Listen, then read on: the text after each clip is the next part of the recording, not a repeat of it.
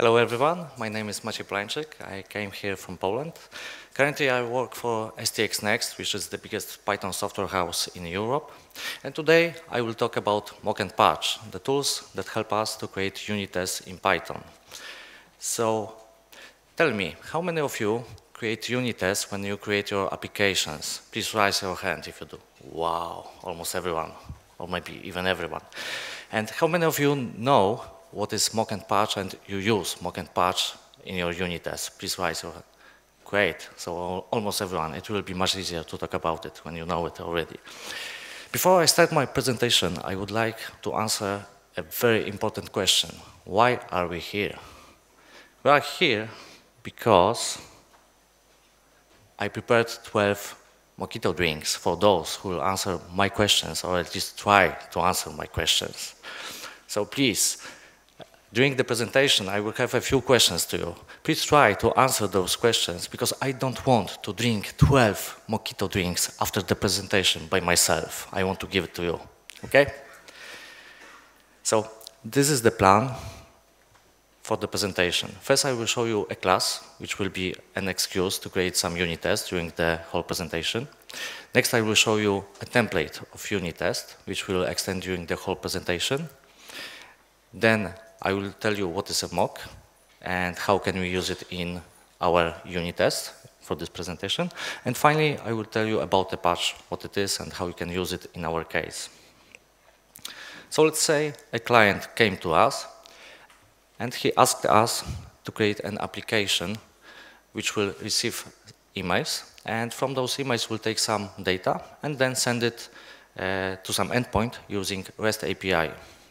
So it seems to be a very simple application to do. So we say, okay, we will do it. We take our best developers, I call them Ninja developers, and after a few days, they create a code, very good code. Probably this code will contain a class similar to this one, message sender. Message sender has send method, which takes message as an argument. From message, it takes uh, sender, receiver, and subject.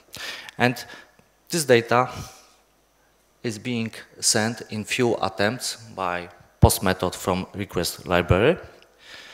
Uh, actually, three attempts are done. So depending on the result from post method from re request library, uh, send method will return true or false, uh, depending on the result. So question to you, uh, what kind of unit test would you do for this send method. And this is Wolf Mojito drink. Any ideas?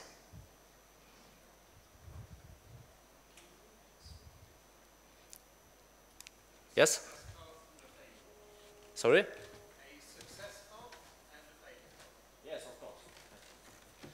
Of course, uh, this is uh, very important. But uh, what other cases? Because this is basic. I think everyone would uh, create a test like this. Yes?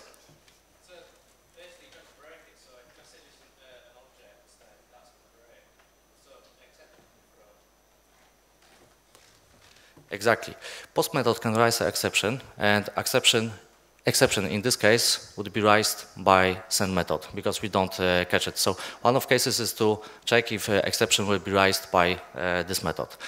Uh, second, I think the most important thing is just to check if we really send the correct data to the correct endpoint because we use post method. So, and the, the main thing that this function does is sending data to the endpoint. So first of all, we should check if post method, actually if whole this send method sends correct data to correct place. But when we execute all unit tests, we don't want to send this fake test data to the real production endpoint because our client will not be happy of that. So when we check if this post method works correctly, we also should not use the original implementation of post method. So first thing, check this, but don't use the original post method. Second thing, yes, check if exception raised by post method will be raised outside of the send function. What else? We have also, yes? Yes, of course. Uh, that's something that we need to check also. Yes, of course. we have some logic in, in our method. The logic is that we try to send uh, data in few attempts. So I think we should also check if we really do it, if in few attempts, in case of failure, we try to send uh, this data. And last thing but not least, we have message, which is implemented somehow.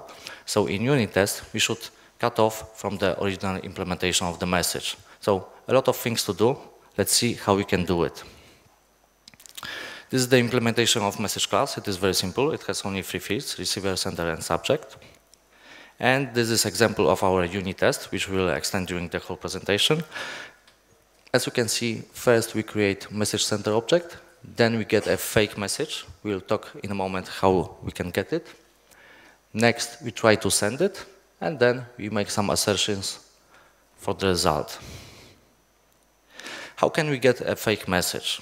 In this simple case, we can just implement a new class inside our unit test with those three fields, and that's all. It will work for now. But what if in a few days from now, someone will add a new field to our original message class? Or for example, and I think this is more important, someone will add a new method.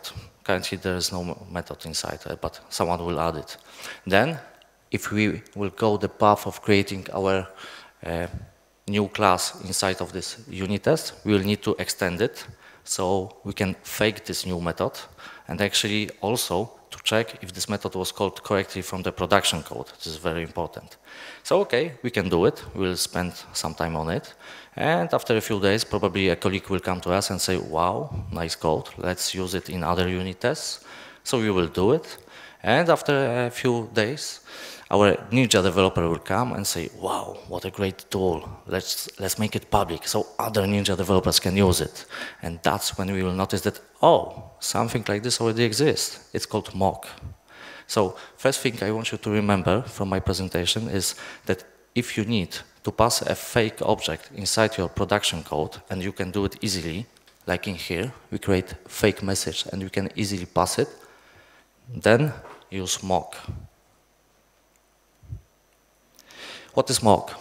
I think you already know it because almost everyone said that you use mocks. So I will just shortly show it. This is how you create mock. And on mock you can call anything, anything that doesn't exist. So if you do it, for example, not existing field, you will always get value. And if you call a method which doesn't exist, you will also get some value. This is very important because this is advantage and disadvantage both together in one time but I will tell more about it later. So for unit tests, we don't want any value to be returned. We want some value. For example, 5, like this.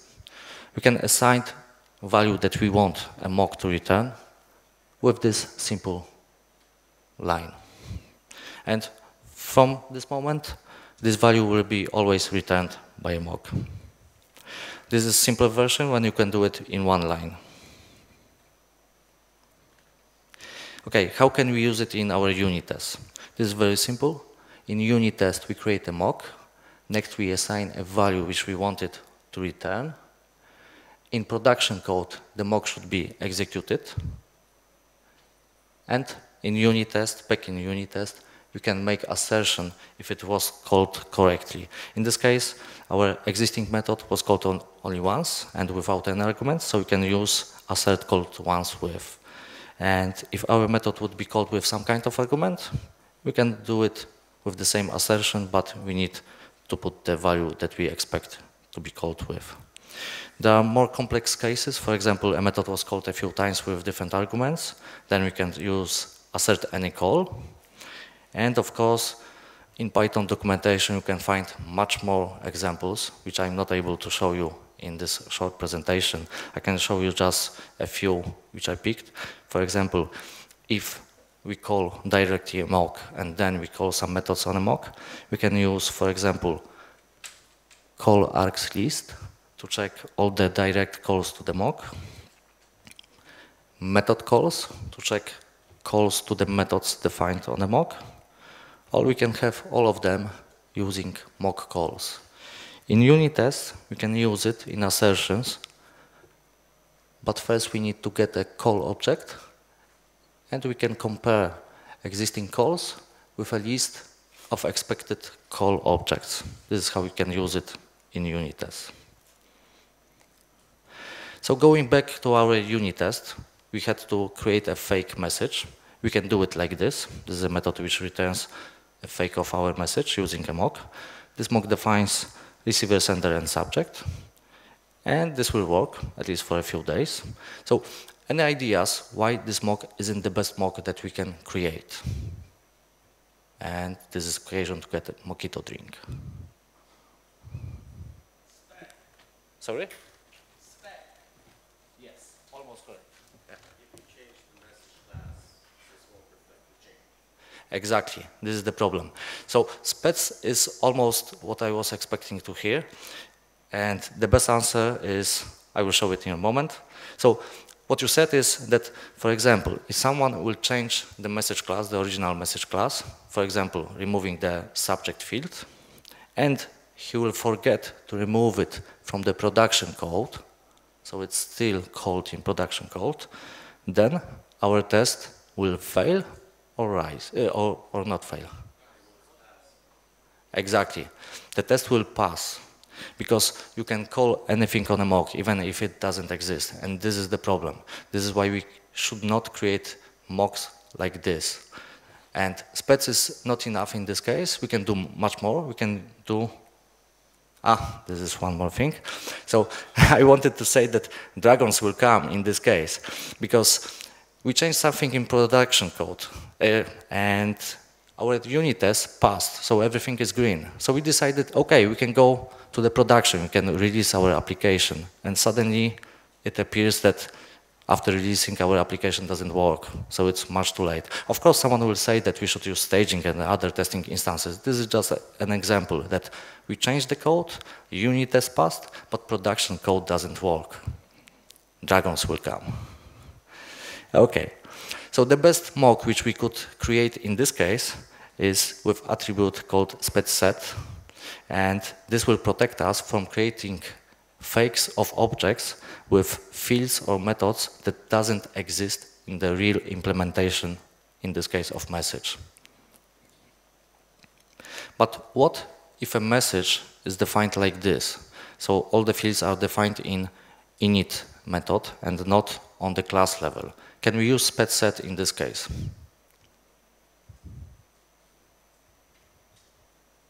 Okay, we unfortunately, unfortunately cannot use spec_set in this case. And this is also something that happens with response, uh, which is returned by post method. Response is defined in request library and we cannot control it, but we would like in our unit test to control the status code value. We could, use, uh, we could do it with mock, but the problem is that implementation of response looks like this. So status code is defined in init method and not on the class level. So we cannot use spec_set when we want to control, when we want to create a mock of response. We need to do something else, and this is spec. So spec doesn't check if uh, what we try to create with mock, for example, the status code, exists uh, in the implementation of the real class. It, all what it does is checking if what we call from the production code was defined in the mock. So it's not the same, but we get some protection. It's not perfect, but that's what we have to do. Okay, so we already know how to mock the response. We know how to mock the message. Now, let's talk about the most important thing, how to mock the post method, because we don't want to send the test data to the real production endpoint. As I said, we should use mock when we can easily pass them to the production code. In this case, we cannot do it easily. It's somehow hard-coded. But message sender belongs to us, so we can ask our Ninja developers to change the source code. And for example, we can define sender in init method. And in our test, we can create a mock for our sender, and every, everything will be fine. But what if message sender would come from some kind of library, and we cannot change it, but we still need to do this mock? So this is the second thing I would like you to remember from my presentation. Use patch when you cannot easily pass the fake object. Patch will solve this problem. How can we use a patch? There are different ways of using patches. I prefer using it as annotation to a test method.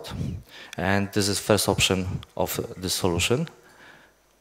You can say with this string what should be patched and autospec equal true says that we want spec set attribute to be used. Patch will create a mock for this object and will pass it as an argument to our unit test. And in here, we can define what should be returned uh, from our mock. Okay. And at the end of our unit test, we can make assertions to our mock. There is a second option of using patches and annotation, and actually I prefer this solution because it doesn't take string, it takes an object, at least for the first argument, and second argument can be also replaced by not string, but I don't want uh, to show it on the slide because it would be a little too complex. So I prefer this solution because when I use IDE, it supports me when I do some kind of refactoring with imports and uh, other things. And in this case, IDE would help me with fixing those imports. In case of strings, it would not check anything. When you create patch, there's a very important thing that patch created, uh, the patch should be created based on the place where we call the patched method. This is something that you can forget when you create a patch for the first time. We have almost two the same codes. The code on the left, we call post method from request, and the code on the right, we call post method from, from something like message sender. Both post methods are actually the same. They come from request library. But the difference is in the way how they are called. And this makes that we need to patch them differently. On the left, we patch post method from request. On the right, we patch post method from message sender. This is very important. You can forget about it when you create patches for the first time. Okay, we already know how to patch or, or maybe mock post method. So now we can go to another thing, how to make it to raise exception and to check if exception was raised. We can do it simply, of course, with a patch, and we can do it by assigning exception to a side effect attribute. And in here, we can check if exception was raised. Another thing, we have post method called a few times, if it's of course necessary, and we would like to check if we really do it in our code. So in case of failure, when we try to send the data for the first time, we would like to check if our code tries to do it next time and next time. So we need to be able to tell post method to return different things in our unit testing for different calls. For example, for first time, return failure, for second time return failure, and for third time return success. How can we do it? Of course, we can do it with our patch, and of course, we can do it with side effect. We just assign to side effect attribute, I mean field, uh, a list of uh, responses that we would like uh, to be returned by this method, and First value from the list will be returned for the first call, second value for the second call, and so on. Sometimes we need a special implementation of our original method and nothing else can work. So in this case, we can do it. We can have our special implementation, for example, defined in our test, and we can assign it with side effect instead of original implementation of our post method.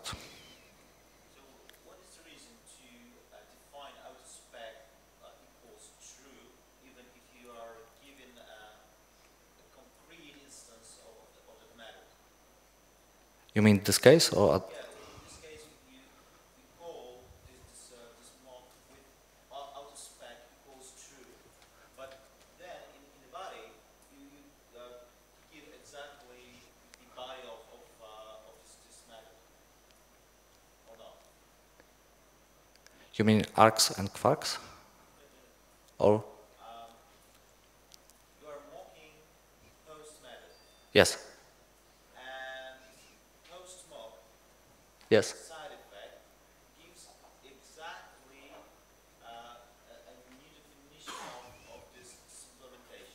Yes. So what is the reason for using autospec in this particular example? To check the interface and existing fields. Maybe in this example, it's not the best example. Some other example would be uh, better for, for this case. Yeah. Okay, great. But if, but if you're only testing one thing at a time, Yes. is, is? So there are different uh, uh, ways for this. People say different things. It's a matter of. Exactly, exactly. Okay. So I think this is the next slide. Sometimes we need to create a few patches to one unit test. And this is very simple, as you can see, but you need to remember that the order of mocks which are passed to the unit test are opposite to the order of patches uh, which annotates this method. So first patch will return a mock which will be passed as the last one to the unit test, and the last patch will return a mock which will be passed as a first one to the test method. Okay, sometimes all our unit tests uh, have the same patches. So instead of repeating them all the time uh, above each unit test, we can just uh, set it on the class level. And this is very important. You need to remember about this one. Before each test, a setup method is called. And after each test, teardown method is called. Teardown is used to do some cleanup after the uh, unit test, and setup is used to prepare some environment for unit test. But people often forget that if setup will raise exception, then unit test will never be executed and teardown also will never be executed. So if someone will set a patch in setup method and will think that he can clean it in teardown, and just after setting up a, a patch, there will be exception raised in setup method, then the teardown will never be called. So if we made this mistake, for example, in first unit test, and we execute 1000 unit tests, and 200 first unit test, is using this patch, but this test doesn't know that it is using a patch, it may fail, and we will spend a lot of time to find out what happened. So to solve this issue, we should not use teardown, we should use add cleanup method like this, and we will be protected from this problem. Okay, and last thing I wanted to show you, very simple, and I, I think this maybe will make you to check the documentation for mocks and patch because you can find a lot of interesting things there. How we can simply mock environment variables with just one line. Like this, using patch.dict.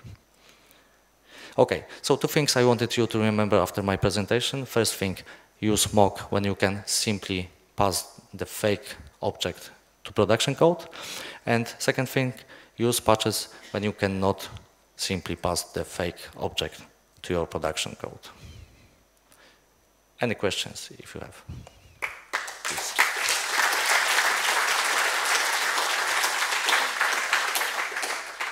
Yes?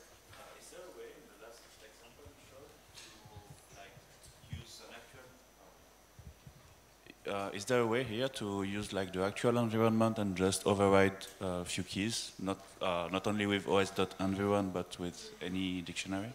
Yes, you can do it. Please, please check the documentation. You will see an example in there. Yep.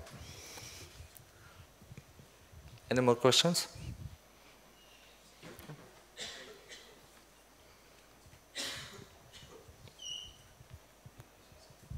Thank you it's more a question like theoretical. You have some function and you want to test it and you mock stuff outside of this function and sometimes it's actually ugly. You have few mocks, you have defined side effects, you define maybe something else, you after check mock call args list and other stuff like, is it any normal way how it's possible to make it looks better?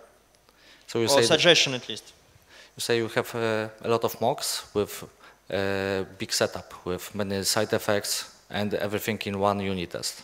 Yes, not as, for example, free for mocks already looks like quite Okay, lot. so first of all, try not to do this because it's too complex. It, it will be very hard to analyze it. So try to make it more, more simple. Yes, of course, but But how? It depends on the code. I would have to see the code and maybe uh, there would be a solution for this. But of course, uh, not always it's possible. But, okay. okay?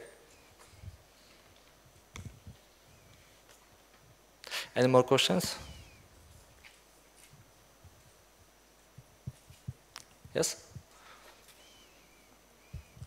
Uh, when you were mentioning the common error when patching, uh, that you need to patch the where the name is looked up uh, from by Python, uh, isn't that a smell that you're coupling the implementation of the thing you're patching with your tests? Basically, you need to go to the source of your library and check what they are doing, and they might be changing it in minor patches because this is not necessarily public interface so making your code brittle. Yes, very good question. I like it very much. So this was only an example to show how we can uh, check if uh, in unit test if exception was right. I'm not saying that uh, the code which I show you, the production code, was the best. Uh, there are different ways for this, and I think most of us will agree that we should catch this exception in our production code, in set method, and pack it with our own implementation of exception, for example, and rise this exception. And then we would catch our own exception and check this our own exception. So we are not going down to the library which we use. And I think this might be answer to your question. Am I correct? Okay. Any more questions? So I think less than 12 people were very active during my questions. So please, those people come to me and some other additional people, please come also because I have 12 drinks and I don't want to drink them. It's too much for, ah, one more question. So, the, they are real drinks. I just call them mojito because it sounds funny and it's almost close to mojito, which is which actually they are. So there are real drinks inside. Yeah. yes. Side effects de depends on you. If you if you are big, then maybe side effects will not be so big. yes, exactly. You have to test it. Thank you.